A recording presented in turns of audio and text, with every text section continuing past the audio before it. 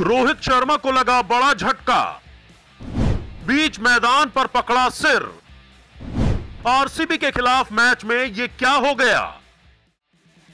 IPL का तिरपनवा मुकाबला मुंबई इंडियंस और रॉयल चैलेंजर्स बेंगलोर के बीच खेला गया। इस मैच में रोहित शर्मा ने टॉस जीता और पहले गेंदबाजी करने का फैसला किया। आरसीबी की टीम पहले बल्लेबाजी करने आई और आरसीबी ने 199 रन स्कोरबोर्ड पर लगा दिए और मुंबई इंडियंस की टीम को मिला 200 रनों का लक्ष्य। लेकिन इस मैच में कुछ ऐसा हो गया जिसकी वजह से रोहित शर्मा को बीच मैदान अपना सिर पकड़ना पड़ गया। रोहित शर्मा को बीच मैदान पर बड़ा झटका लगा, जिसकी वजह से उन्होंने बीच मैदान पर ही अपना सिर पकड़ लिया। रोहित के साथ ऐसा क्या हो गया? इस मुकाबले में विराट कोहली सस्ते में आउट हो गए।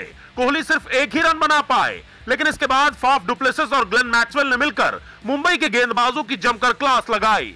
मुंबई का जो भी गेंदबाज इन दोनों के सामने आता, वो पिट कर ही जाता। ये दोनों दिग्गज रन बनाए जा रहे थे और स्कोरबोर्ड को आगे बढ़ाए जा रहे थे। पहले ग्लेन मैक्सवेल ने अपना अर्धशतक पूरा किया, फिर इसके बाद फाफ डुप्लेसिस ने भी अपनी 50 पूरी कर ली, लेकिन इसके बाद जल्द ही ग्लेन मैक्सवेल आउट हो गए। मैक्सवेल ने इस मुकाबले में ज़बरदस्त पारी खेलते हुए 33 गेंदों में अड़सठ रन बनाए। इस दौरान ग्लेन मैक्सवेल ने आठ चौके और चार छक्के लगाए।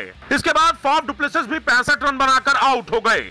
ऐसे में मुंबई इंडियंस ने मैच में वापसी कर ली थी। लेकिन तभी मुंबई के पास मैच में अपनी पकड़ को मज़बूत करने का एक और मौका आया, जब दिनेश कार्तिक ने क्रिस जॉर्डन की गेंद पर बड़ा शॉट लगाने की कोशिश की और गेंद सीधे कैमरन ग्रीन के पास चली गई। लेकिन ग्रीन ने 15 रन पर खेल रहे कार्तिक का कैच टपका दिया। ये कैच काफ़ी आसान था, लेकिन ग्रीन इस कैच को पकड़ नहीं पाए। रोहित शर्मा को यकीन ही नहीं हुआ कि कोई इतना आसान कैच भी छोड़ सकता है। ऐसे में रोहित शर्मा ने बीच मैदान पर ही अपना सिर पकड़ लिया और वो मैदान पर ही बैठ गए।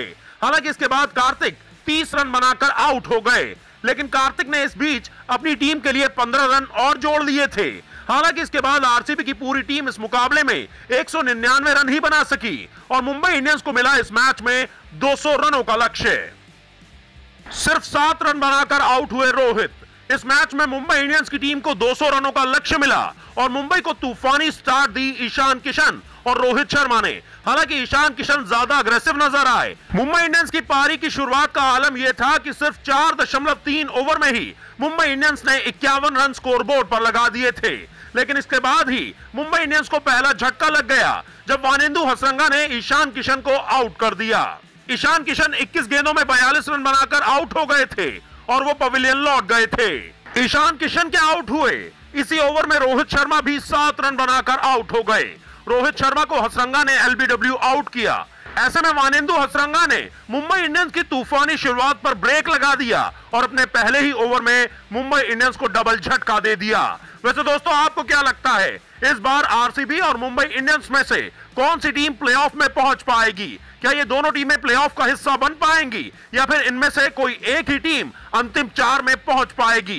कमेंट करके अपनी राय हमें ज़रूर बताएँ। और दोस्तों, अगर आपको हमारा ये वीडियो पसंद आया है तो हमारे चैनल को सब्सक्राइब करना ना भूलें। इसके साथ ही साथ ताज़ा तरीन खबरों के लिए हमारे फेसबुक पेज को भी लाइक कर लीजिए। और इस वीडियो को अपने दोस्तों के साथ शेयर करना बिल्कुल मत भूलिएगा।